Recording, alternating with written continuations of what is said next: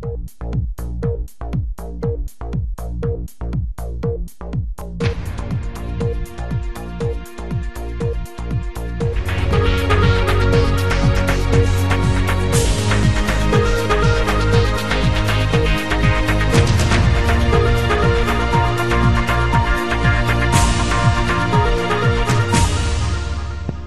umaga po sa ating lahat. Tayo po'y nasa isang edisyon ng ating Wednesday Roundtable at Lido. Pag-uusapan natin kung anong pinakahuling balita sa Marawi at kung ano ang sitwasyon sa karapatang pangtao. Dalawa po ang ating paksa ngayon at mahalaga po ito sapagkat buhay ng mga Pilipino ang nakataya. Pag-uusapan natin kung ano ang mga nagaganap, ano ang naganap at anong hindi pa nagaganap.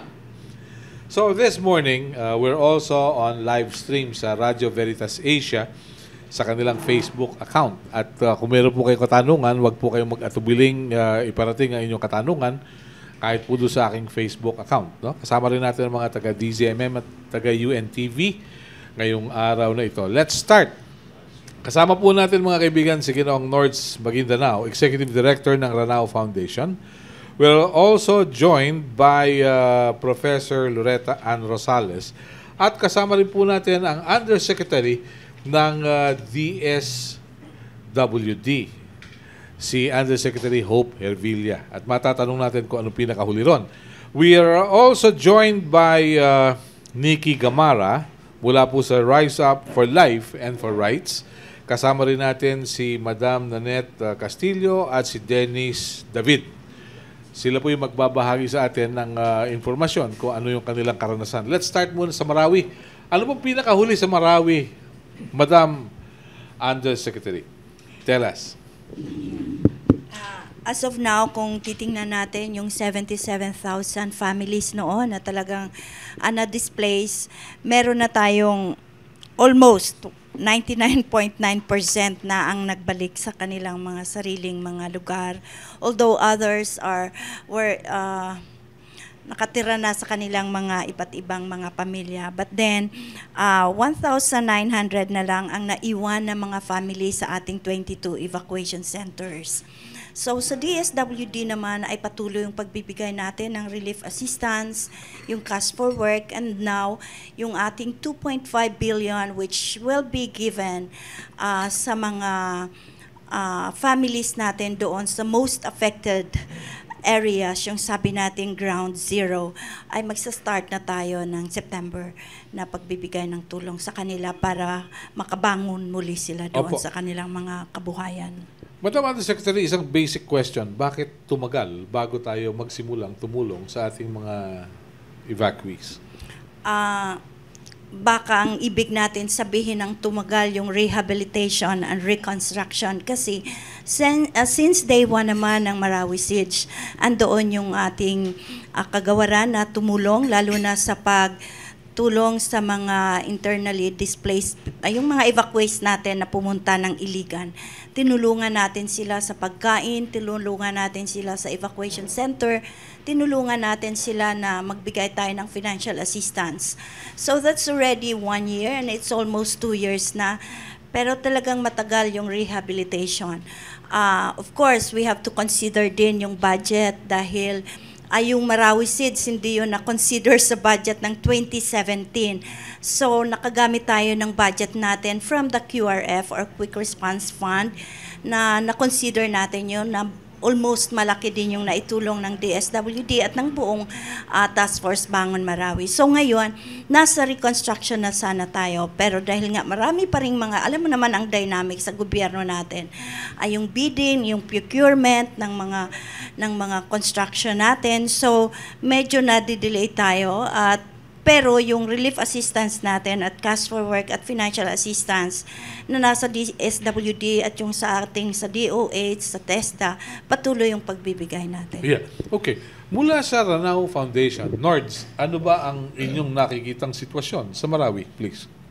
Um, it's been almost more than a year after nung marang nangyari ang Marawi siege in which not everyone is likely to be uh, to like that the ano that memory of what happened Sa ngayon, ah, masasabi natin na hindi talaga handa ang gobyerno during that time sa pagsalo ng mga problema in which wala namang may gusto na nangyaring yon.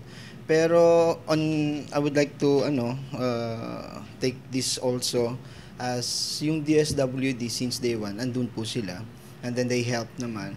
Although sa sobrang dami ng bilang nga po na sa ilang mga balita ay uh, naki- nakita at nalaman nga natin na uh, it has been since I mean sabi nila it has been the one of the worst uh, urban fighting na nangyari since World War II and then everyone is not ready even the government is not ready. But uh, it was gradual yung pagtulong.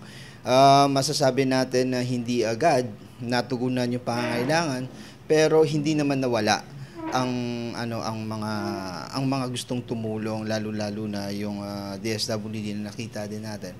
Sa amin sa Rano Foundation, isa kami sa mga foundation na talagang tumulong doon na tumutok. Pero ang ika nga isa sa mga tinutukan namin which is uh, uh, ang ang pagpapahayag kung ano nga ang totoong nangyari sa Marawi kung ano nga yung sanhi ng pag-aaklas na yon ng isang grupo na mali yung paniniwala at ano nga yung kailangang uh, remedyohan, ika nga. Uh, one of the not addressed uh, issues on the Marawi siege, particularly on the people in Mara of Marawi, is yung uh, ika nga nila eh um, yung kasi andyan na yung social ano eh social yung social yung yung bandang pag-aayos ng kanilang ah, pag-iisip kung saan madaming na trauma Ah, merong mga ilang organizations na andon pero their their uh, their impact o yung sinasagawa nilang ah, psychosocial activity, yun siya, dito din si DSW na sana, eh, masyadong not related to what the Maranaos should do. Aha. Uh, more on, kumbaga, eh, contemporary siya in which uh, sana eh, natugunan yung pagba, pagbabalik nila kung sino man sila dati. One of the reasons why na nalaman namin is that uh, ang takot kasi that group of that group na umatake sa Marawi is nawawala na daw yung mga Maranao kung sino man sila o hindi nila naalala. Aha. So, yun yung isa sa mga rason na they want to take this city overnight to regain that uh, to regain that uh, Glory, if you may. No, no. To regain that um, personality, that cultural sensitivity, I mean, cultural aspect that uh, pinaniniwalaan nila na nawala. Uh, religiously and uh, culturally, ika nga. So that group wants to regain that overnight, which Okay. is very impossible. Okay. So, um, gusto na sana matutukan din is yung pagbalik ng mga Maranao kung sino man sila at kilalanin talaga kung ano yung totoong personality nila. Okay, very well. Pakinggan natin kung anong hinaing ng grupong narito sa atin. Nikki, sa inyo munang grupo. Um, ah, mula po kami sa Rise Up for Life and for Rights. Isa po itong network ng mga church-based organizations ah, na ah, tumutulong at ah, nagdodokumento po ng mga kaso ng pagpatay sa ilalim po nitong ah, ah, tinatawag na war on drugs ng kasulukuyang administrasyon.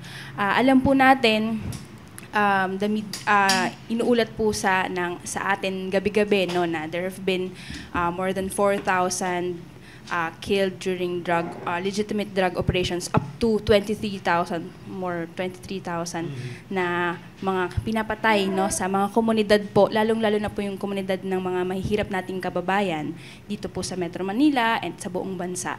At ah nang ah, malinaw po na talagang nag ah, walang pakundangan no sa buhay ng ating mga kababayan, walang pakundangan sa karapatan ng ating mga kababayan kung sila man ay ah, sangkot o hinihinalang sangkot sa dr- sa droga o anumang krimen ay basta-basta na lang pinapatay no ng kapulisan itong mga riding in tandem na hindi masawata o hindi man lang mahanap ng ating mga kapulisan. And so ah ah, since um, 2016 po ay nagsimula kaming mag-document, simula, nagsimula kaming umabot sa mga pamilya na tila ah, parang ah, sadly no mas madalas ah, parang nako-condemn o na parang parang kasalanan pa nila no kung kung bakit sila pinatay no kaya po ah, at just yesterday nga dahil mabagal o halos wala po kaming makuhang genuine na investigasyon dito sa mga pagkamatay na ito.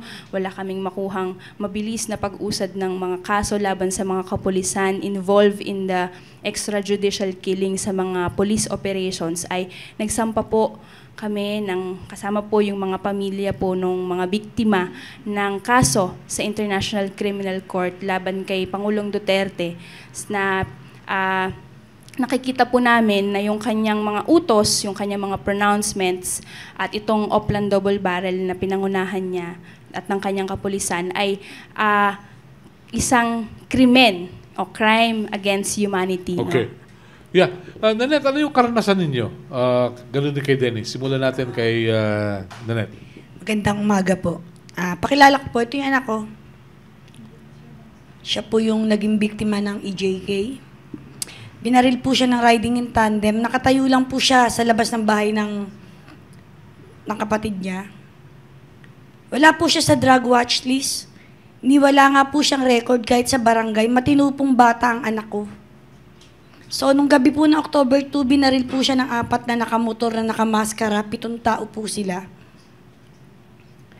At ano po, 10 months na po Saan po nangyari ito? sa Tondo po. Sa Tondo. Opo. Uh, ano po ang pagkakakwento? Ano yung circumstances na may kinalaman sa pagbaril sa kanya? Sabi niyo walang Ah, record, walang wala po. ano man. Ah, yung usap-usapat po kasi doon, yung sa barangay po. Ah, sabi ng isang kagawad po sa amin doon, may humihingi daw po ng pangalan sa barangay kay chairman. Listahan. Mga drug watch na listahan po, drug list. Ang anak ko po'y wala doon. Tapos sabi po ng kagawad ay hindi naman daw po nagbigay si chairman. Sabi niya, ayoko na lang pong banggitin yung pangalan ni kagawad. Tapos, pero kaya pong tindigan yung mga sinasabi ko. Tapos po, nung ano, sabi niya, ano daw, wag kayong pupunta sa kanto, nanghihingi, magbibigay sila ng sample. Napakasakit nga po ng term, sample. Na nagkataon talagang kamalas-malasan, nandun ang anak ko sa kanto. Kasi ang anak ko po yung nagpakampante siya. Matagal ko na siya rin siya sinasabihan na nakakatakot nga po yung mga nangyayari. Nabarilan, na kahit wala kang kasalanan. So, nandun siya sa kanto, nakipagkwentuhan siya. Yun yung kamalas-malasan. May dumaan na motor, apat na motor. May mga witness po ako na nakatakip ang. Binaril po siya ng limang beses. Dalawa sa ulo, isa po dito sa sintido, isa sa punong tainga, kalibre 45 ang ginamit nila. Yung tatlong tama niya po, isa sa leeg, dalawa sa dibdib, kalibre 40 po ang ginamit sa kanya. Nagpalitan po sila sa pagbaril. Yung dalawa, yung dalawang motor po ay naka-lookout. Napaka, hindi ko ma-describe hanggang ngayon po kung anong nangyari, anong ginawa nila sa anak ko, ba't sinaktan nila ng ganun? Okay po. Simula pa lamang yon. Sa inyo pong karanasan, Dennis. Magandang umaga po sa lahat. Ah, ako po pala si Dennis David, yung father ni John Jezreel David. Bali, yung anak ko po, ano, isang hotel room boy. Nagtatrabaho po siya sa Pasay. Ah, ang nangyari po sa istorya ng anak ko, eh, na-checkpoint siya. Hindi na po siya nakauwi. Three days, hindi siya nakauwi. Sinubukan namin kontakin yung cellphone, hindi na namin siya nakontak. Humanap kami ng, naghanap kami sa mga presinto. Nakakuha kami ng impormasyon sa mga pulis din. Hanapin daw namin sa morgue. Wala po sa drug SWAT list ang anak ko, hindi po nagdodroga. Sa katunayan po, nakakuha ako ng record sa barangay na cleared ang anak ko. Walang record. Ah, yun po, pi- pinatay po siya ayon sa mga pulis by bus operation po. Nakapag-file po ako ng kaso sa Office of the Ombudsman September 28, 2017. Hanggang ngayon po, hindi sila sumasagot sa mga aligasyon ko. Yun ang inyong karanasan. Opo. Okay. Professor Eta Rosales, you were once uh, chair of the Commission on Human Rights, aside from being an academician. How do you feel about this when you get to hear sob stories as if calling for justice? Professor. Yeah, thank you, Melo. Um, it's a continuing story, you know. It's a continuing story of uh, tragedy after tragedy and disappointment. Essentially, disappointment in the inability of governance for redress of grievances from Dennis and also from Nanette, the parents of the children whose children were, according to them, clear of any record of criminality, including drug use, which of course to us is not a crime, no? but it's a health problem. So it's it's very sad, it's very unfortunate, and it's a telling statement on the capacity of government today to be able to address the grievances of hapless people, of ordinary citizens, where government should in fact be there. Hindi naman sila pasaway eh. Hindi nga sila rebelde. Hindi naman sila criminal suspects. They're just innocent children. And here are the parents talking about this. So, um, hindi pa ito usapin ng inefficiency of government with respect to uh, suspects.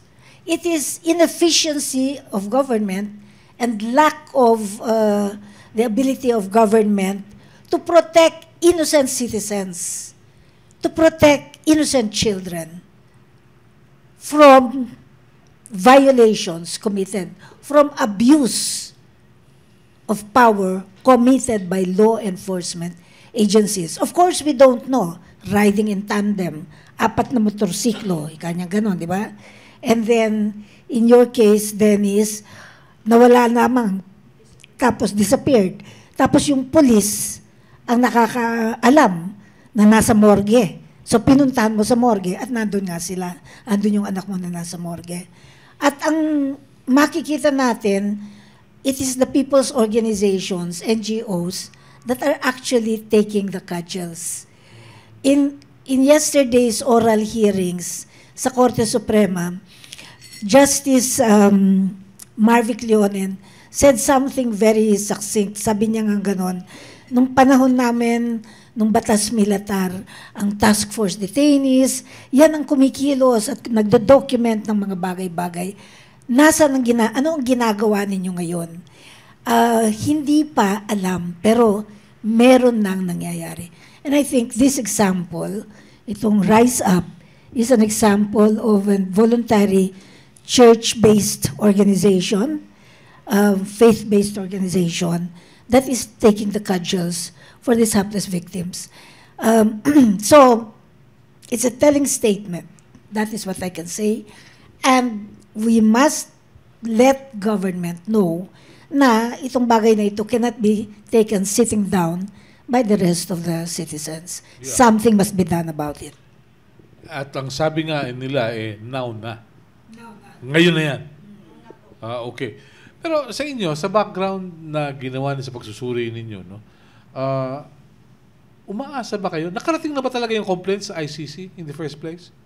Please. Um, as of 10 a.m. po yesterday, we have sent it via email. Kasi yung ah, ano po ng ICC is you can send it through mail or pumunta doon in person or ah, via email. So it was received by the office na pwede po talagang gawin according to their rules. No? Siyempre, of course, yung una, wala naman kaming capacity na may pumunta pa sa sa Netherlands para gawin yon at napaka yun pong aming documents ay mga ganito kakapal 50 para pages daw. yung complaint, yung actual complaint po is 50 pages, but the annexes like yung illustrative stories like yung kina Dennis, kina Kuya Dennis at yung sa iba pang complainants and yung lahat ng pronouncements ni President Duterte, lahat ng memorandum was like ganito po kapal. So we are looking into paano namin siya mapapadala. But but it's it was received already by the ano by the ICC. So, nandun na po siya. Umaasa kami na ito ay ma-actionan din kasunod nung kung paano din inaksyonan ng Office of the Prosecutor yung mga yung mga nauna ng complaints no sa ICC yung filed by Attorney Savio etc. Ah, Okay. Pero in the first place, uh, paano nyo na pagsama-sama yung mga katulad ni Nanette at ni Dennis? Of course, nung una po, as as um, um, an organization based on the church, mas pakikiramay eh, no, na dun sa namatayan. Dun po kami talaga nagsimula. Ah, yung mga ka- ah, kasama po naming pare, mga madre, ganyan, pupunta lang sa sa kasi nung una makita mo sa TV yung talagang yung pag-iyak, yung pagsigaw na walang katarungan o hindi dapat ginawa sa pamilya nila. Punta lang kami para makiramay. Kasi parang basic naman po yung sa ating mga Pilipino, di ba? Punta ka sa kapitbahay. Doon po kami nagsimula. Tapos, nung nagkukwento na sila ano yung nangyari, and then we noticed na, at yung sama din ng loob na, unfortunately, madalas po, yung lumalabas sa media ay parang justified na dahil drug suspect, ganito yung sinapit. So, doon po kami na-encourage na kunin natin yung totoong kwento no at tulungan sila na mailabas yung mga totoong kwento. At ito po yung nakahikayat din sa mga pamilya na magsalita actually kasi marami po actually kahit ngayon marami po ah, sa mga nakaka napupuntahan naming pamilya takot pa rin na magkwento or bak, or minsan parang ah, skeptic na no na eh iba naman yung lalabas or kung ganyan. Pero patuloy, ah, in fact po, nakaka, ah, kumbaga kung may isang positibo man na sa, sa patuloy namin ginagawa na ito, even yung mga pamilya ng victims nung 2016 pa, mula nung unang umupo si Pangulong Duterte, ngayon nagsisimulang magsalita. Ganyan. At yung mga pamilya din naman, kahapon sabi po nung isang nanay, si Nanay Emily, ah, nakikita nila na despite nung kalungkutan yung naging dahilan ng pagsasama-sama, ay yung pare-parehong kagustuhan din na hindi mapunta sa wala yung pagkamatay ng kanilang mga mahal sa buhay. Yun yung, yun yung nagiging basis ng pagpapatuloy nila na sama-sama. Vicky, have you seen a pattern or a commonality in all the cases that has reached your attention? Oh, of course po. Ah, for one, halimbawa po dun sa mga legitimate police operations, yung kagaya po nung kila, ah, alam po natin yan, yung nanlaban, tinamna ng merong nakuhang shabu or at barel, no, kahit pa naka-boxers yan, meron po kaming isang ah, case po sa Navotas, no, maliligo, may hinahabol yung mga mga gumawa na isang sa- drug suspect. Tapos nadaanan nila yung isang maliligo, anak nung ah, naka-boxers. Kasi sa komunidad po, ah, isang, yung fishing community po sa may Navotas, sa labas lang naliligo yung mga tao. Naka-boxers. Di ba? Eh, may barel at may shabu. Naka-boxers, ganyan. Ganun po yung, ganun po yung kwento do, do sa mga sinasabi nila, Bibas, alam po natin yung kwento nung kay Kian. Si Kian, naka-boxers din nung pinagbintangan nila na may shabu din at merong barel. Doon naman po sa mga kagaya ng kwento po ni Aldrin, kailan, anak ni Nanay Nanet, yung riding in tandem na Ah, basta lang babarilin, madaanan lang sa kanto. Meron po kaming mga cases sa bagong silang, ah, barker ng jeep. Daanan lang talaga sa kanto pag bababarilin. Tapos i-float no, sa barangay o sa ano na, ah kasi hinahanap, ganito. ah, kung hindi man talagang nasa drug watch list, ay pero i, parang ah, ini-insinuate no, na baka yun yung Okay. dahilan. Now, let me ask you uh, another issue. No? Pag sinabing ng laban, so may baril yan. Uh, nasuri ba ninyo na ipagtanong niyo ba kung nasaan yung mga baril na nasamsam dun sa nanlaban? At na-check ba yung ballistics nito? Kasi sino ba may-ari niyan? Kahit pa loose firearms yan, may paraan para malaman. Dahil sa kung 3,000 o 4,000 yung lehitimong operasyon, dapat merong 4,000 baril na maipapakita. Alam ko nga po, meron po tayong iba pang mga ah, ah, ah, kap- ah, nasa kongreso, no, nasa na nagtatanong na nga baka pwedeng ilabas ng mga kapulisan itong libo-libong ah, baril na sinasabi na baril ng mga nanlaban pero we're yet to see ah, po yan. Pero actually, yung mas basic pa nga po doon, kung sa bahagi po namin, ano nga eh, hindi nga po nila maimbestigahan man lang. Yung, kumbaga, yun nga pong police report, pahirapan pa po nilang ibigay sa mismong mga pamilya. Yun pa kayang sagutin kung yung tanong na ilabas nyo nga yan, patunayan. Actually po, naalala ko yung isa pong sinabi ng mga abogado. Ah, kung tutuusin, duty nung ating gobyerno ng prosecution service na i-prove. Sila po yung may parang may may May burden na eh, i-prove oo. na nanlaban nga itong mga tao na ito. Kaya sila nag-recourse na lumab, ano, Okay. na mabarel, ganyan. Okay. Pero if that is the case, dapat libo-libo na rin yung yung automatically na inano ng prosecu- ng prosecution service. Meron bang autopsy Pero na wala. ginawa? Para Ah, makita yung trajectory. actually questionable din po yan. Kasi, syempre, para po sa mga pamilya, ah, police ang involved, police din ang mag-autopsy. Anong expect po natin? That's why, ano rin po yan, parang isa po yan sa mga ginagawa po at struggle din po natin sa, namin sa organization na matulungan yung mga pamilya na makapag-autopsy independently, no? Kasi, kadalasan po talaga, actually, mas medical-legal lang yung nilalabas nila usually Okay. eh wala naman pong komprehensibong makikita dito. At yun nga, ano pong i-expect natin kung sila si- sila din naman no from their within their ano Yeah. no. Ba- Yeah. Uh, I remember, uh, Professor, there was a saying na dead men tell no tales. But when I did an interview on Dr. Erwin Erfe of PAU, he said, you know, a dead man will tell you everything you want to know through autopsy. Doon mo makikita yung trajectory ng bala, nung babarilin yan, malakas ba yung hangin. Eh, ang problema, pag dinala yung isang sugatan sa ospital, lilinisin din ng kapwa-doktor para malinis yung sugat. Hindi mo makikita ngayon yung magre-rely ka na lang sa trajectory. But how do you feel about this? Before we go back to Marawi. Yeah, okay. Hindi, yan ang isang napakalaking problema. You know, government keeps on saying the system is in place. The criminal justice system is in place. But is the system effective? Does it provide effective remedies?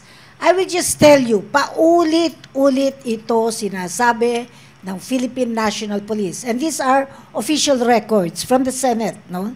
Sinabmit nila ito sa Senado. Philippine National Police records, legal operations, police operations, therefore legit operations no? on the drug war is 4,000 plus. This was brought about uh, early part of uh, 2018. 4,000 plus.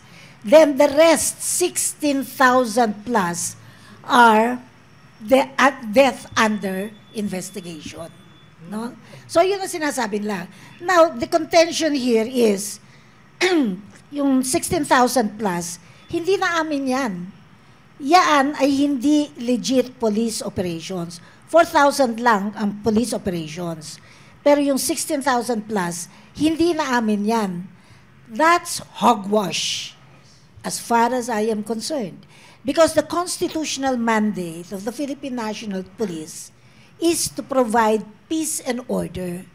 The fact that you've got 16,000 plus death under investigation shows that you are a total failure with respect to maintaining peace and order. No? Yun, yun lang ang kukunin mo. And why was it included in the accomplishment report Exactly. of 2017? Exactly. So ang ang kasi ang utak ang ang narrow eh, makitid kasi yung utak eh. Ang akala nila dahil libre na yan dito sa drug war, malinis na sila. Pero mandato kasi nila yung maintaining peace and order. So, ngayon, uh, that's just the first point. Second point, death under investigation. Ang kakailanganin, ang media, ang mamamayan, ang kongreso, lahat tayo dapat transparent sa atin yung proseso ng death under investigation. At doon pumapasok yung mga problems na nilalabas nila. Paano yung investigation? Paano yung autopsy? Paano yung mga uh, evidences no, na makikita? Dito na hindi malinaw. At ang manifestation nito, ang concretization nito, at the local level, you have your CADAC. Okay? the CADAC is the City Anti-Drug Abuse Council. No? Underneath your CADAC are your BADACs. These are the barangay anti-drug eh, anti um, drug abuse uh, committees, no? You go to this, you will find out they are not capable. They have no capacity to document. You ask for documentation. Let's say Caloocan or Tondo. Dahil Tondo yung sa inyo, Nanette, no? Punta ka sa Tondo. Tingnan mo lahat yung mga badaks doon. Are they equipped? Are they capacitated? In terms of documentation, dapat yon malinaw na under the rules of the game. When you're talking about rule, and you're talking about the rule of law and due process, dapat yung mga badaks na yan pa, pupuntahan ninyo, and you can already see the documentation. Okay. Yun. Okay. Babalik po ako sa Marawi. Oh, baka sabihin niyo naman, nagkakalimutan na tayo. sa scale na isa hanggang sampu, pag sinabing rehabilitation, nasaan na po tayo, Madam Undersecretary? Meron kasing bangon Marawi, but I won't ask you about it. Mukhang bangungot Marawi yata yun. Eh. Pero ano po ba yung papel na ginagawa ninyo ron? Ang hirap naman sagutin nga. Kaya po tanong yan, may sagot. Ah, bilang ah, member din ng Task Force Bangon, pag sinabi natin kasing rehabilitation, reconstruction, talagang overall yon na pag-consider natin na maibalik yung yung buong cultural identity nila, yung social connection nila sa bawat isa sa community, yung infrastructure, at kung hindi man maibalik yon sa dati, at least ang pagbabalik niya ay mai-advance natin in a little bit more uh, better. But nami-maintain natin yung yung cultural identity and the society of the Maranao. Kung i-rate natin yon, syempre hindi natin yon as far as for my personal uh, na pagtingin doon, hindi natin talaga masasabing kahit nasa medium na tayo or nasa kalagitnaan na tayo.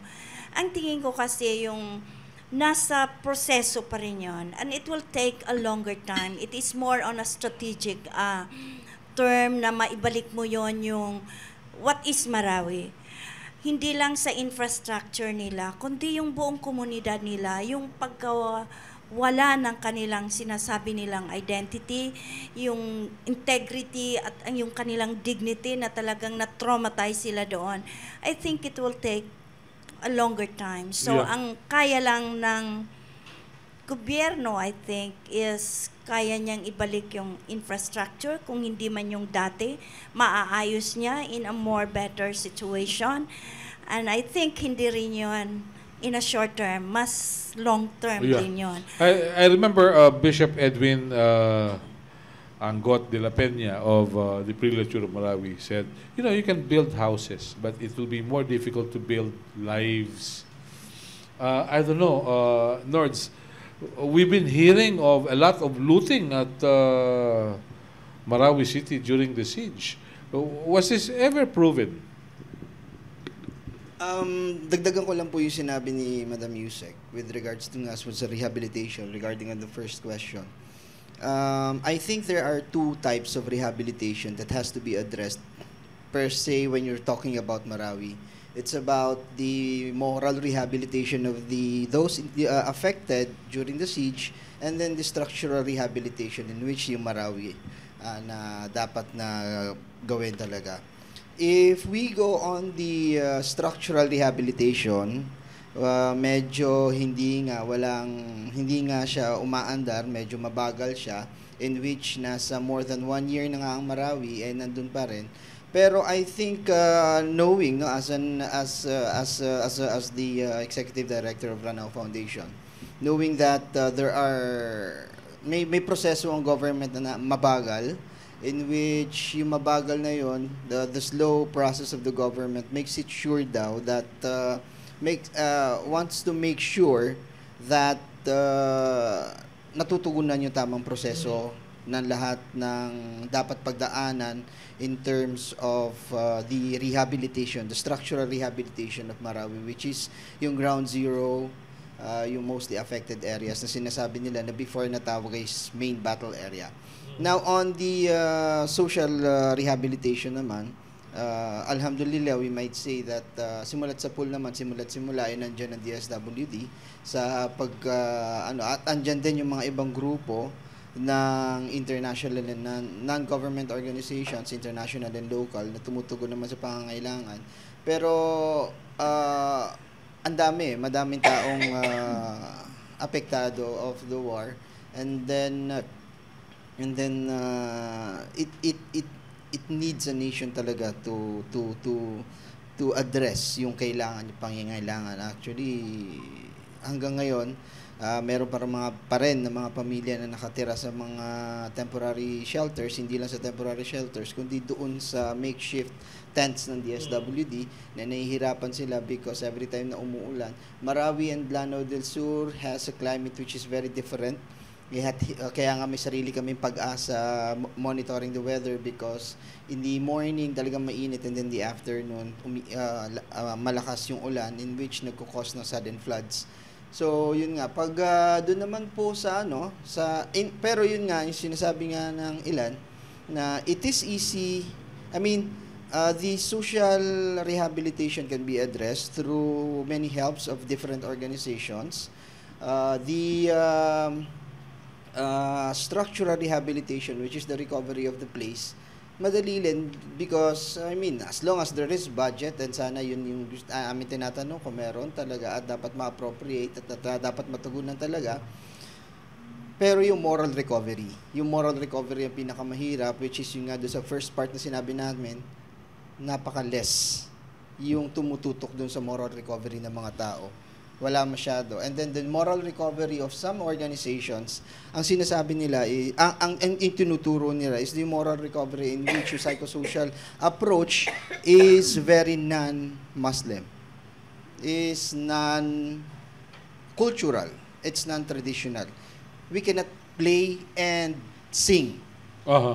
to to regain our social uh, our moral recovery because we do not do that some say that uh, of our scholars say that we are not a singing and dancing uh, uh, uh, community dahil bawal sa Islam Mhm. all we want to know or all we want to to recover on the moral side of it is that we are Muslims Aha. gusto namin dun sana manggaling yung moral recovery na hinihingi namin from from these organizations and their Uh, are you saying that there's some sort of insensitivity? Uh, there is still not only uh, on, on other on even on other organizations kasi yun nga po yung sinasabi natin um, you would see people like specifically on children na pinapasayaw, pinapakanta. Eh sa Islam po medyo may mga may mga tao or may mga teachers tayo or may mga scholars tayo na pinagbabawalan yung ganung konsepto. So hindi mabebenta si Mocha Uson at Drew Olivar doon. Ganun yun. Sana sa hindi sa mga bata. Okay, okay, okay. oh, kasi masama nga din nan yun ah, na hindi and the, and the aspect of Islam is that uh, hindi ganun. I mean on on our side in Rano Foundation, hindi po ganun yung moral recovery na gusto namin makita. Yung moral recovery na gusto namin makita ay alamin kung saan kami galing. Kasi yun nga yung number one na problema, nakalimutan na ng kabataan ngayon kung sino nga kami at saan nga kami nanggaling, kung ano yung Islam because of the influence of other of the social media in which the main mainstream media na, na ano. And then the other problem is that we do not have a mainstream media on the ground in which we could directly say our thoughts and our minds and our struggles and our uh, ano uh, we, we do not have platform. Kaya nga po madaming tarpaulin doon sa Marawi because wala kaming media. We have, we have no media outlets. So Yeah. napaka-importante yung ganun. Oo. But on the side naman po doon sa tanong nyo that there are looting, ah meron pong looting na naganap sa Marawi pero it's not ah, kaya nga may mga grupo that that are insisting na there should be a, a ah, Marawi siege inquiry which is sa amin naman napakakailangan din na magkaroon nitong Marawi siege inquiry because once and for all, I mean, lay all the cards, lay all the problems, lay all the ano kung ano yung nangyari. Alam naman natin na uh, yan ang kung gustuhan ng bawat isa, mapag nasa gobyerno man o hindi, international na or ano malaman kung ano ba talaga Yeah. ang nangyari. Napakaganda nun. Would you care to react to these statements? Yes, alam nyo, it's, it's so poignant, no? That's Marawi, and then this is uh, EJ case in Metro Manila mostly, although it also happens in other areas. Pero may common denominator lahat ito eh. At ito nga yung sinasabi natin karapatang pantao. Pag when they're talking about yung moral dignity, that is lost. And it seems like government is incapable again of, as you put it, being sensitive to recovery of one's moral dignity, both individually and collectively as the Maranao people. Di ba? Dito pumapasok, and um, I do not mean to lecture, but very, very briefly, I just want to remind us to, to look at the historical context very, very briefly because it is relevant to what is happening today and to the oral arguments that we're making at the ICC, which they actually are relating to and are depending on. Na, it wasn't too long ago, Second World War, First World War, Second World War, nung tinayo ang United Nations. At si Eleanor Roosevelt, sisimplihin ko lamang, ano, nung ginagawa nila yung Universal Declaration of Human Rights, which is the foundation of lahat ng karapatang pantao, nung ginawa nila yon sabi ni Eleanor, ay ang dami niyong sinasabi, kasi all over the world yan eh, na gustong magsalita na magsalita. Tatlong bagay lang ang isaalang-alang natin. Unang-una, ang ating aral na makukuha, never again, World War, no? Uh, yung dignidad ng tao. Yung dangal ng isang tao. Collectively at saka individually. Tapos pangalawa, when you want to settle disputes, at ito yung sa Maranao, you settle it peaceably and not through lethal force. Kaya dapat yung diplomatic. At saka pangatlo, ang layunin ng mga bansa, ang layunin ng buong United Nations ay para sa kapayapaan, para sa kaunlaran. Tatlong bagay na ito. Uh, I go back to Marawi and also dito. Ang usapin, um, paano namin marirecover yung moral dignity ng Maranao people? Natanong ba nila? Kasi Ranao Foundation ba yun, Nords, no? Para sa akin, you gather the people. Tapos, pakinggan natin. Psychosocial therapy. Dapat yun ang uunahin. Pero you have to be sensitive to the Muslim culture. Yung right to culture, it's a fundamental right sa convention of uh, yung ECOSOC rights, economic, social, and cultural rights. Yes. Na, Oo. ngayon, excuse me na lang for saying it, again, the President is so sensitive to human rights. Ayaw niya ng human rights eh. Pero human rights ang solusyon at sagot sa hinanaing na lumalabas dito. Di ba? Aha. So yun ang dilema ng Malacanang. Dapat harapin niya yan. Alin yung dilemma sinasabi niyo? Nasa custodial center ng PNP, yung senador. Ayun. Lela dilemma. Ah, uy. Malaking dilema Eh, yun. yun nga eh. oh. Hindi, hindi niya pinayagan na magsalita sa Korte Suprema. Di ba? Napakalaking dilema yun. At kahit si Harry Roque, may dilema siya eh. No? Aha. Malaki ang dilema ni Harry Roque. Dati-dati pinaglalaban niya ang ICC.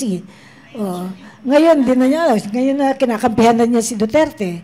So, Aha. malaki ang dilema ng Malacanang. Okay. Yun. Pero ang esensya lang, Melo, kailangan harapin nila, mag makatotoo sila, kailangan makatotoo sila.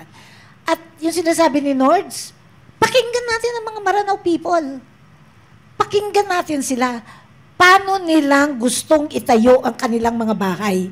At huwag tayo umasa sa Chinese corporation.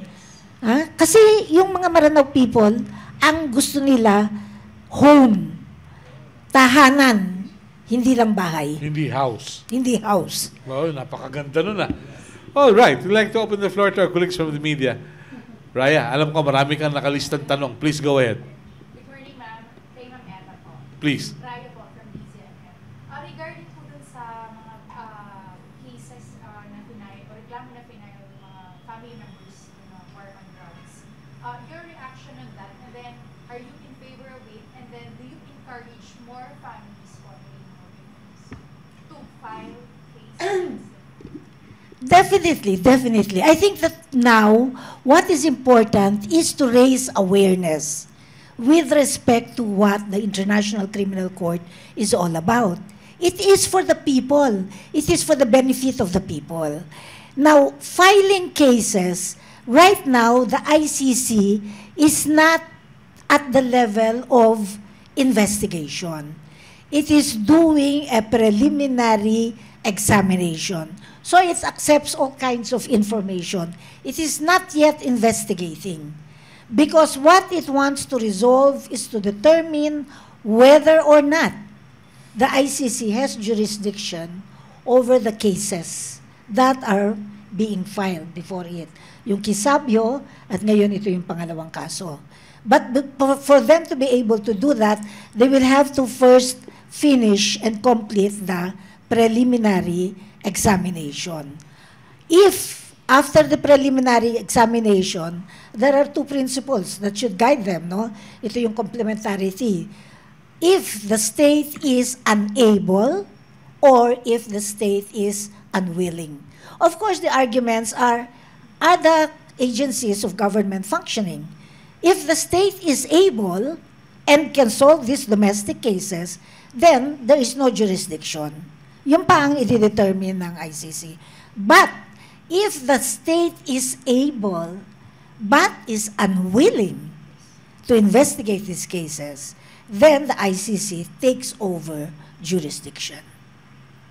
Now, but, but uh, awareness raising, yes. There must be awareness raising all over. Because, ang tanong lamang dito, uh, para kanino ang ICC?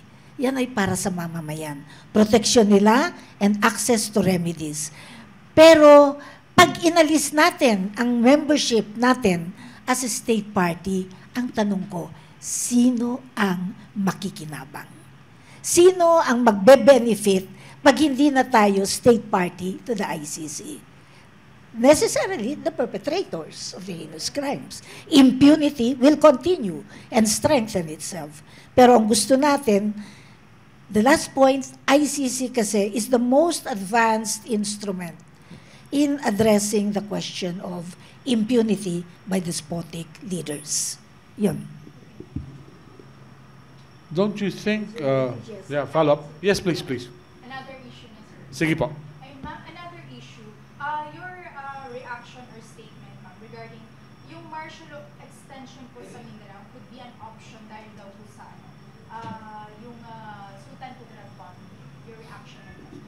That? can be resolved by ordinary enforcement measures. It need not be martial law. The reason that you had your 1987 Constitution that actually expanded the powers of review by the, um, the Supreme Court and also the legislative powers of congressional review of the declaration of martial law by the executive was precisely to constrain the executive's possible abuse of power by strengthening both the judiciary and the legislature. But Mr. Duterte is glossing over the whole thing. He's not even paying attention. He just keeps on saying, I'm a lawyer, I'm a lawyer, and I'm fiscal, so I know what I'm talking about. Well, fine. Who cares if you're a lawyer if you keep on violating, you know, the rule of law? You've got command responsibility. So that's it. So, ma'am, would you rather na uh, in favor dun sa i-lift na martial There is no reason to declare martial. It should have been lifted. We were a petitioner for the lifting of martial law.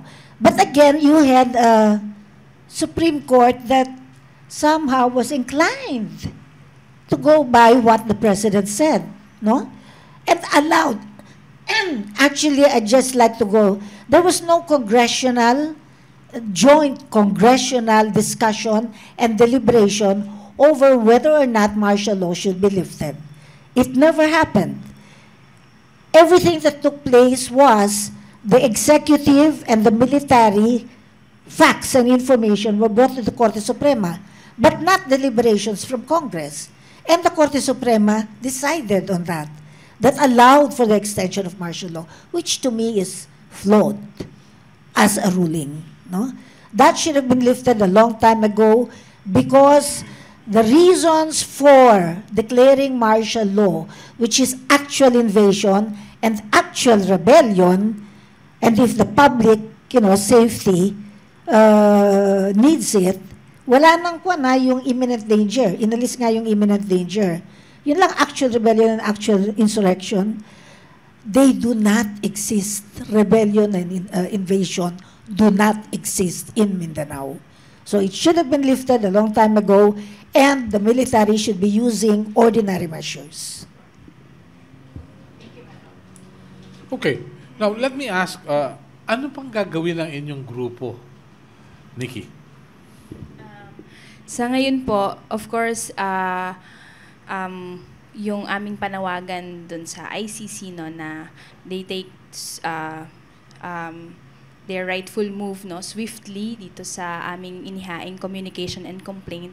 And of course, patuloy po yung aming ah, paghihikayat sa iba pang mga pamilya na ah, to come forward, magsalita ipahayag po yung katotohanan. At the very least kasi importante po sa amin yung maano man lang, mapahayag man lang yung totoong nangyayari sa ating mga komunidad ngayon. Ano? Aha.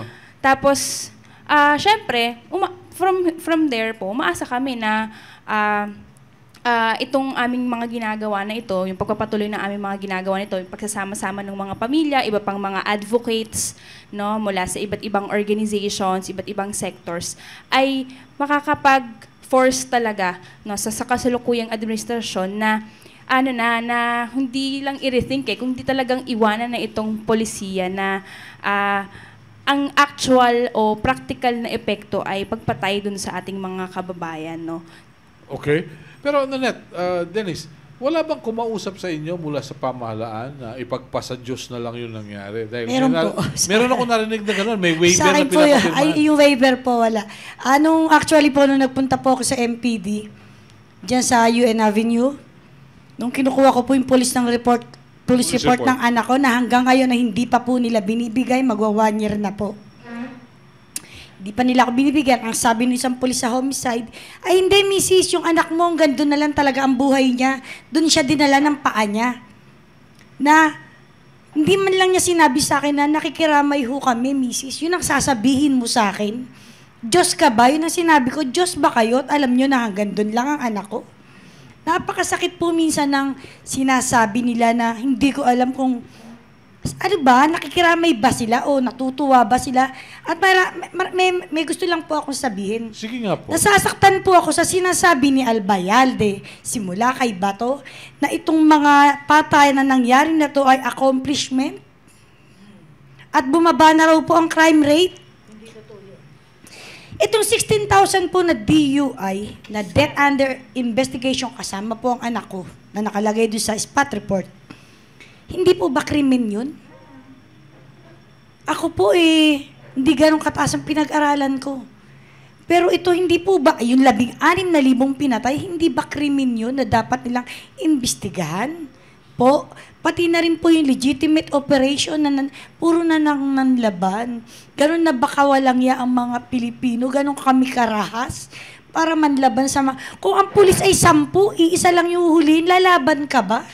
Alam mo, hindi ka makakaputok at hindi ako naniniwalang may mga baril po sila, sir. Okay. Sa inyo po. May nakiusap ba sa inyo na ipagpasa Diyos na lang? Meron po, kaya lang hindi ko na po babanggitin yung pangalan. Huwag na, yung- huwag na yung pangalan, yung detalles na lang. Ayun nga po, sinabi po sa akin na ipagpasa Diyos ko na lang yung nangyari sa anak ko. Ah, sa katunayan nga po, nagbigay pa ng abuloy. Sa sama ng loob ko, halos gusto ko punitin yung pere. Ah, nanahimik na lang po ako sa binanggit niya. Umalis ako, umalis ako ng presinto, tapos, bali ano lang po, pinasundo po ako noon. Uh-huh. We'd like to acknowledge a good friend, uh, Commodore Rex Robles. Okay, okay, sige, we'll wait for you. We will wait for you. Okay, okay. All right. So, ang nangyari ay uh, pinakiusapan kayo. Opo, ah, manahimik ng araw po ako. Total, yung motor daw po ng anak ko, nabalik na. Ganun po. Tapos, nagbigay ng konting abuloy. Yung motor ng anak ko, nabalik nga po, iba na yung tsura. Pinturado na yung motor, tanggal na yung mga sticker. Hindi nyo na nakilala. Hindi na po. Eh baka hindi Ah. yun yung motor. Hindi po. Kasi po, nung mga time na yon kung, kung kukuha kang motor na hulugan, mayroon pong dalawang susi yon. Ngayon, nung bago ko ibigay sa anak ko, iniwan ko isang susi, naiwan sa akin. Kaya meron akong natatabing isang susi. Nung dinala yung motor sa presinto, hindi pinatakbo, sinakay sa sasakyan. Then inaantay ko sa, sa presinto. Nung ibinaba yung motor, makita ko yung motor ng anak ko, alam kong hindi yun dahil iba na po ang kulay. Iba na ang kulay, wala na sticker. Sabi sa akin nung station commander, subukan mong ipasok yung susi. Pag nag-match, sa inyo yan. Eh, nung pinasok ko po yung susi, eh, Kumandar. match. Pati yung compartment, match. Kasi, di ba po, kahit naman pare-pareho ng brand ng motor yan, automatic po magkakapareho. Hindi, mag, hindi, hindi magkakapareho ng susi yun. Oho. Apo. Kaya, yun nga po, sinabi nung station commander, ah, sa inyo talaga yan. Sabi niya gano'n. Pwede ko bang makita yung ORCR mo? Pinakita ko. Tinignan nung ano, nung mga tauhan niya. Tinignan yung uh, body or chassis Opo, number. tinignan po, chinek po nila lahat. Tapos, napatunayan nga sa akin yung motor. Iba na kulay. Ah, baka naman automatic yun, nag-change color. Hindi Yun- mo lang alam. Oh, Yun may nga po mag- pinagtaka na. Ito po isang nakakapagtaka. Yung krimen po nangyari po sa Station 11. Ang nag-surrender po sa amin ng motor is Station 1. Eh, pareho naman may uno eh. Onse. Uno. Sa waiting, halos yun din. Ah, yun eh. actually po, station 1 din yung sa anak ko. Masyado silang mababait na mga pulis. Okay. All right. Sandali po mga kaibigan, time out muna tayo. Sandali po. Sa mga kaibigan natin sa Veritas Asia, time out muna. Sandali po. We like to acknowledge, kasama po natin si Commodore Rex Robles. Alam po ninyo, si Commodore ay isa sa mga inanyayahan ng pamahalaan upang tingnan yung saligang batas noong 1987. So may mga rekomendasyon sila. Pero you know, it's a big surprise. Not everybody knows what you did. Uh, whether it's a problem of information, education, communication, I really don't know. But at least somebody danced to the tune of Pepe de, de Realismo. No? Anyway, ano nangyari sa inyo? Ano po yung inyong napag-usapan doon? Meron ba significant changes kayo nakita kailangan sa Constitution? Well, siyempre maraming comment. Nagtaka nga ako noon. Hindi pa lumalabas ang draft. Mayroon na nagsasabing walang kwenta yung ginawa namin. Eh. So kako, ang galing nito mga tao na to. Ah, basically, there is the 87 Constitution. And we want to bring it to federal. Well, there are accusations na inutusan lang kami ni Digong, mga ganon, presidente. Pero I have to tell you na late comer ako doon. I was one month late, pero I could see that my colleagues were working on the Constitution. They were not even talking to anybody else. The idea was workmanlike. Trabaho lang, gawin namin ito, tapos yun. Kung ayaw ng tao, walang problema. Kasi noon, there was a time that we were being threatened by Congress, some people in Congress, ah yung mga sinabi ni TS, mga ganun. Baka itapon namin sa basurahan yan, parang ganon. O di tapon nila. Kasi I'm, I'm a experienced staff officer. I'm told to write something. If in really throws it in the wastebasket right away, that's no problem.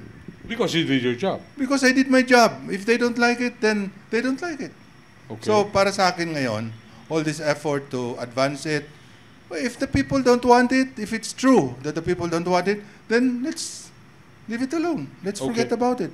Uh, Commodore, uh, merong nagsasabi kasi na inipon lang kayong matatalino para meron kayong pagkaabalahan at may pag-usapan ng tao para makalimutan yung ibang issue ng bayan.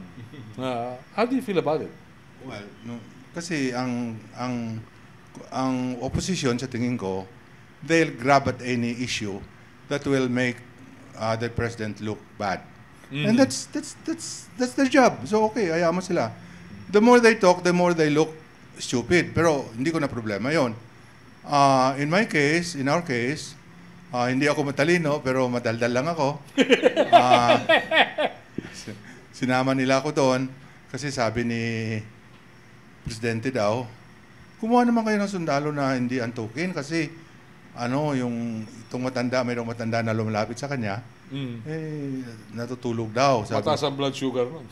sabi, sa- sabi nila, kunin mo si Robles, hindi yun antukin. Mali siya. Aha. Kasi tulog din ako ng tulog doon. Hindi, pero seriously speaking, katulad niya, meron kayong draft na Oo. sa saligang batas, may Oo. federalism. How will this impact on a very basic issue? I don't know how the Maranaos and uh, other Muslims would look at it. Eh, nilagdaan din ni Pangulong Duterte yung Bangsamoro Organic Law. How will it impact on that? Walang problema. Tatlo ang Muslim namin doon. Si Professor Ali, si Balindong, si Pancracio, I forgot. Anyway, so they are all defending. Actually, kung minsan isang oras na Debate yan, katakot Hindi, magsasalita yung isang Muslim kasi gusto niyang maipasok siya. And that's, meron naman silang rason sa nakikinig kami. Mhm. Ah, ibig sabihin, we prepared a draft called uh, Ordinance, ano? Parang number one na attached to the Constitution regarding the Muslim uh, situation about Aha. kasi buo sila na regional regional na region sa, dra- sa Ah. draft. And uh, I will tell you if the federal constitution is passed and it will it will go with the ordinance that we made, it will make the bangsa ano na yun eh, bangsa organic law BOL. Aha. It will make it even better, stronger. Aha. Oh, wa- walang walang conflict between what we did and what BOL came out because their people were always there. There, Okay. they're always there. So walang ewan ko kung sino eh, kung sinong gumagawa noon, bahala na sila. Okay. Oo. Very well. Yes, okay. Mga kaibigan, tuloy po tayo sa ating discussions today. Ah, napag-usapan yung Marawi. What needs to be done? Mula sa inyo, Nords, anong kailangan gawin aside from looking into yung sensitivity no? sa culture at iba pa? Um, first, I would like to comment dun po sa sinabi ni Sir Commodore Robles, no? Na, opo, tama po yun. If the Bangsamoro Organic Law will be pushed and ratified this coming uh, uh, plebiscite vote na maging yes, uh, the good thing about it is that nauna na po kami sa federalismo, kung titingnan. Parang template ito sa patungong federalism government na na isinusulong.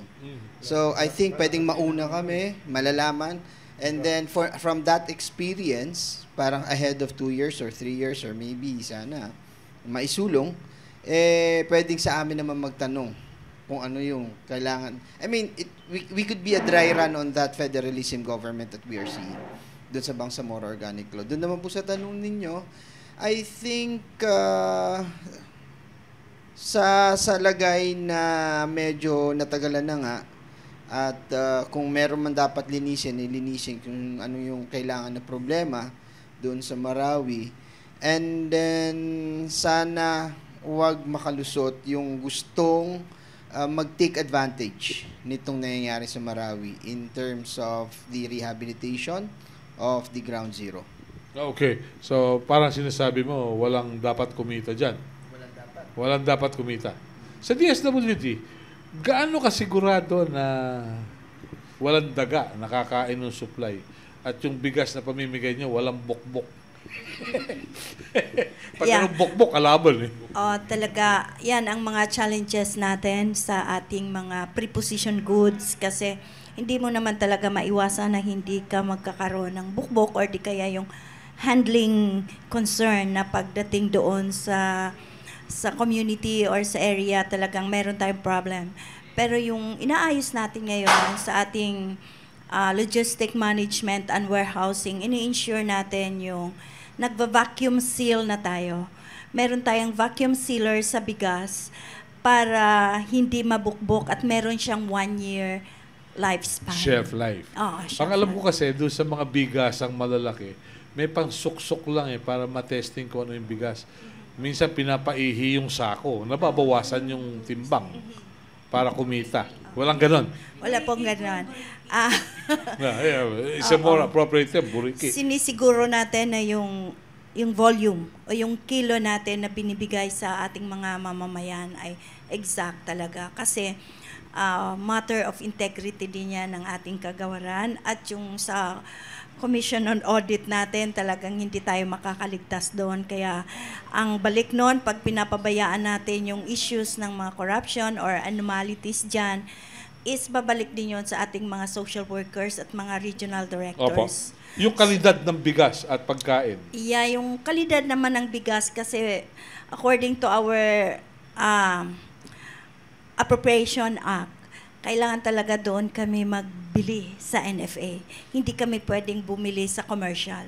Pag bumili na kami sa commercial, ang DSWD, ay ma makukulong kami doon sa impeachment. Aha, sigurado. Yeah, so by 2 o'clock today, this afternoon, magkakamiting kami with uh, the National Food Authority para ma-ensure natin yung enough supply at yung quality ng bigas na binibigay nila sa hindi atin. ko po alam kung pwede nyo sagutin ito, pero yung po bang cash-based budgeting will have an impact on DSWD? Yeah, oo naman kasi yung basis ng DBM, bakit na-reduce nila yung budget namin is yung budget utilization natin. So, itong 2018 is a practice of the cash base. So, titingnan natin by the end of December kung talagang cash base yung ating ah, magagamit na budget. But then, ah, meron talaga siyang epekto kasi meron tayong mga procurement processes na hindi ganon kabilis yung mga processes natin. That's why yung in-ensure natin yung ease of doing business ngayon na talagang i-shorten natin yung mga bureaucratic layers, yung processes na matagal na kailangan masagot kaagad Eh, natin. not necessarily pinakamababang presyo yun ang bibili dahil sa kuminsan, kalidad ang problema, right? Yeah, so meron naman kaming procurement na medyo mataas ang presyo compare sa kanila sa isang company. Pero kinukuha natin yung medyo mataas ang presyo dahil sa quality naman. Ah, okay. Sa atin, Dennis at uh, Nanette, anong inaasahan nyo magaganap sa mga susunod na panahon? Marami pa bang sasama sa inyo at ah, magpaparating din ang kanilang karanasan? Ah, sa, lag- sa palagay ko po, sa ginagawa po namin ngayon, palagay ko po marami po kami nahihimok na mga pamilya ng biktima na lumabas na rin po. Nawawala na rin po yung takot nila dahil nakikita naman po nila na talagang lumalaban po kami. Lalo na po yung or- organization namin na Rise Up. Dahil kami pong mga magulang, wala nang pinakamasakit sa magulang kung hindi ang patay ng anak niya. Okay lang po kung natural death, nasa gasaan, nagkasakit. Pero yung, Kahit nga nasa gasaan, mahirap din tanggapin. Opo, pero yung mas mahirap nga po, yung ito yung pinatay na kagagawan ng gobyerno mismo. Marami akong gustong sabihin kay Presidente Duterte, lalo na sa kanyang PNP. Paano niya masasabi na binabalyo niya ang human lives kung hindi niya kayang igalang ang mga karapatang pantao namin? Kasi magkadugtong po yan, hindi pwedeng mabuhay ang tao nang wala siyang karapatan. Kung ang hayop nga po may karapatan, ang tao po pa kaya? Ito pong sinasabi nila, lalo na po ang, kung may puso po kasi ang pinuno, magkakaroon din po ng puso ang mga, ang Kasama. mga kasama niya. Mhm. Ito Okay. pong kapulisan, ang sinasabi ko lang, itigil nyo na ang pagpatay. Tao rin yung mga pinapatay nyo at ikaw, Pangulong Duterte. Ikaw dapat ang mamuno. Paimbestigahan mo lahat to kung hindi ang kapulisan mo ang gumawa nito. Lalong-lalo na tong mga riding in tandem na hindi yung masobsob sa dami ng checkpoint nyo bakit sila nakakalusot. Hindi po hayop ang mga anak namin para pagpapatayin nyo para may ma-report lang kayong accomplishment nyo. Tao po sila, pinalaki namin. At kayo dapat ang namumuno, ang pumoprotekta sa aming mahihirap. Dahil karamihan talaga sa amin, wala pong, wala pong pinag-aralan. Mabababa lang po. At wala po kang kaming kaya- kakayanan sa buhay. Na sila yung inaasahan namin magpoprotect sa amin. Ang logo nga po ng kapulisan, di ba? To serve and to protect. Not the president. Hindi po ang mamamayan. Yung po yung hinihingi namin sa kanila katarungan. Bigyan nila ng hustisya itong mga namatay na ma- mahal namin sa buhay. Ay, ang Okay. hirap tawaging Pangulo eh. Pasensya na po. Okay po. Duterte, itigil mo na yung pagsasabi ng patayan na to. Dahil sabi niya nga, magiging chilling and relentless. Di ba? Isa pa rin pronouncement yun ng pag-uutos mo na patayin talaga tong mga biktima na to. Okay. Dennis. Sa pagsampa po namin sa ICC, ah, isang panibagong arena na kung saan baka doon makamit namin yung justisya. Mhm. Okay. Maasa po kami. Mhm. Na may mangyayari. Okay. Ah, rise up.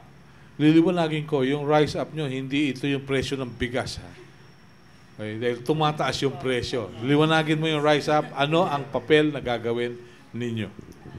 Ah, hindi po talaga kasi ah, ano po din yan, pasakit din po no sa sa ating lahat. Ah, bali po, of course, patuloy po yung aming ah, pagpunta sa mga pamilya, paghikayat na ah, tayo po ay magsalita, ipahayag po yung ating mga kwento. Gayun din yung ah, paghikayat dun sa mga advocates po natin, lalong-lalo na po sa mga nasa simba, ah, taong simbahan, no? Lahat, actually, we are people of faith naman at ito yung ating isang pwedeng, pwedeng pagsalubungan, no? Dito sa panawagan na ah, matigil itong itong itong polisiya na ito, itong pamamaslang na ito at magkaroon talaga ng tunay na hustisya para dun sa mga biktima. Ah, of course, kami naman po, kaisa naman po kami nung, nung pamahalaan nung magsimula na maresolba yung problema sa droga, yung problema Mhm. sa kriminalidad. Of Totoo course. po yan sa ating, lalo na po sa mga komunidad po natin, nung mga kababayan nating mahihirap. Pero naniniwala kami na ah, hindi ito yung paraan of course. At kung kasama din yung mamamayan dun sa pagpapasya, pagbubuo ng mga programa at pamamaraan, paano nga ba i-address ito? Lalong-lalo na po yung tingin namin, pinakaugat nito, kundi yung kahirapan, ano, ay magiging ah, mas maganda yung resulta at makikinabang talaga yung mamamayan dun sa resulta. So, patuloy po yung aming pagpunta sa mga pamilya, sa mga advocates at ito, ah, eh, ah, ah, subukan itong iba't ibang mga ah, avenues na posible yung pong pagsasampa ng, ng kaso dito locally. At ito nga, yung sinimula nating bago, yung sa international, kung hindi International Criminal Court, kung talagang wala tayong makuha dito sa dito ngayon sa ating bansa. Okay. Uh, Commodore Robles, doon po sa inyong papel na ginampanan doon sa pagsusuri sa saligang batas, uh, isang mahalagang bagay na gusto kong malaman, anong direksyon doon sa political dynasties? Yan, yan. Pahabol ko lang bago mag-humingi ng closing statements kay Yung, Chair. yung political dynasties, that's really out. Wala na. If you are at the end of your term as a governor, for instance, or a congressman, hindi ka na pwedeng palitan ng asawa mo. To the second degree of consanguinity. Kapatid, asawa, pati girlfriend, kabit, hindi na pwede lahat. Meron no kasing nagsasabi na masaya yung mga kirida dahil hindi nabanggit doon sa panukala. Eh. Alam mo nagsasabi noon, kahit nabasa na nila yung konstitusyon, gusto pa rin nila manggulo. So, yun. Pero I'm asking everybody to just read it. Kung nabasa nyo na at ayaw nyo, di sabihin nyo ayaw nyo. Pero kung hindi nyo pa nabasa o nabasa nyo, you pretend that you have not read it and you make up stories about it, diyan ako nabibwisit. okay, okay.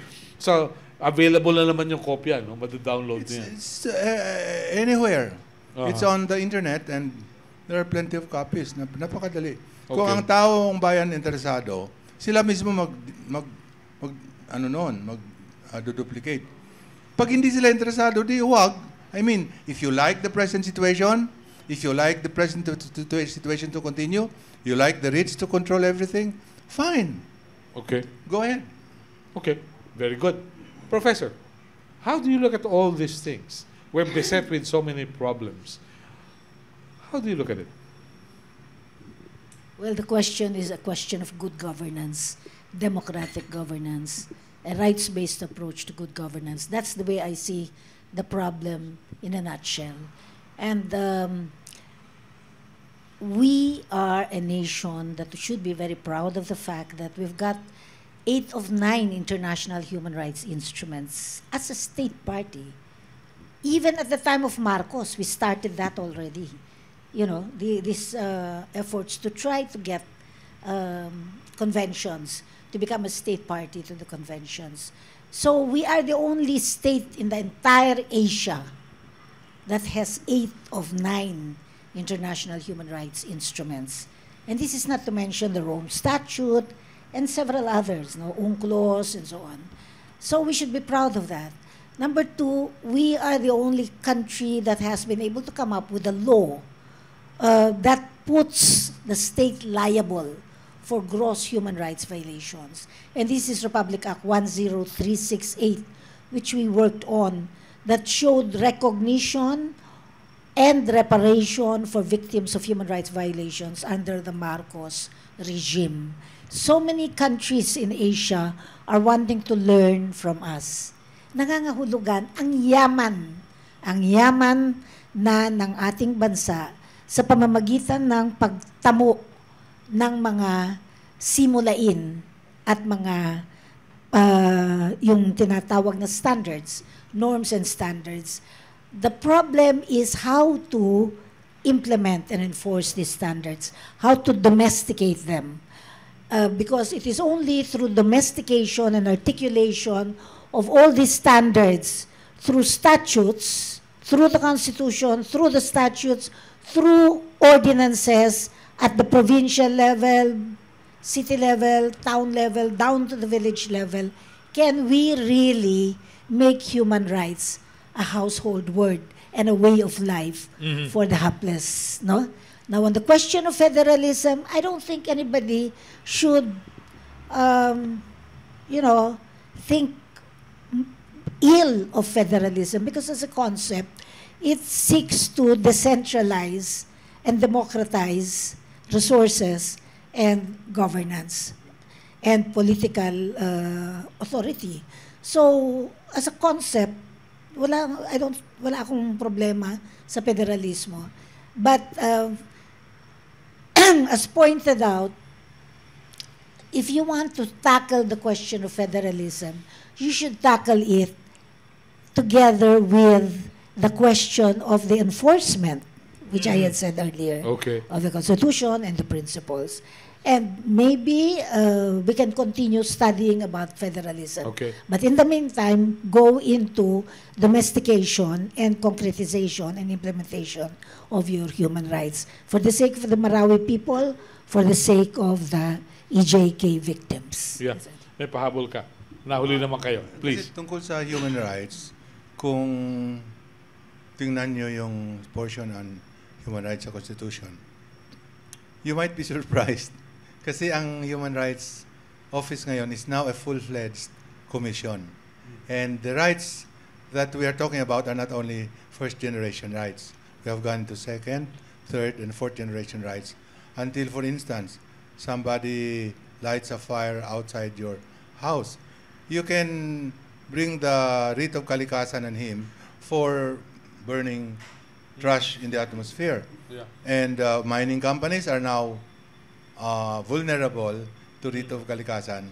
So, I don't want to explain it uh, so much, but it's it's about two or three pages of human rights Yes. improvements in the Constitution. Now, Mhm. of course, as has been observed, it is a question of implementation. Ba't hindi ba naman yan ganun na ng mga gobyerno? Mga kausap namin na mga galing sa France, galing sa Singapore, galing sa Germany, yung mga federated uh, federation uh, states that are giving us uh, guidance. Up to now, they have problems, but they are convinced that federalization is still is still good. Okay. And they talk about implementation. Okay. Very good. Uh, one thing going for us, eh, meron na rin tayong writ of amparo. At napakahalaga nun. Hindi na natin kinumbida yung isa pa nating panauhin dapat magbibigay ng kwento ron. Pero I'd like to say thank you to all our guests who, take, uh, who took time out to be with us for such a diverse discussion. Pero ang focus ay tao. Now, let me end our discussions with uh, a proverb from Indonesia. Sabi sa Indonesia, calm water does not mean there are no crocodiles. Oh, so there are crocodiles kahit na kalmado ang tubig. Ngayon, ang tanong, eh, paano natin sasayawan yung mga buhaya? So, that's a challenge. Magandang araw po. Maraming salamat hanggang sa susunod na pagkakataon sa ating po namang Wednesday Roundtable at Lido. Thank you. Have a nice day. God bless us all.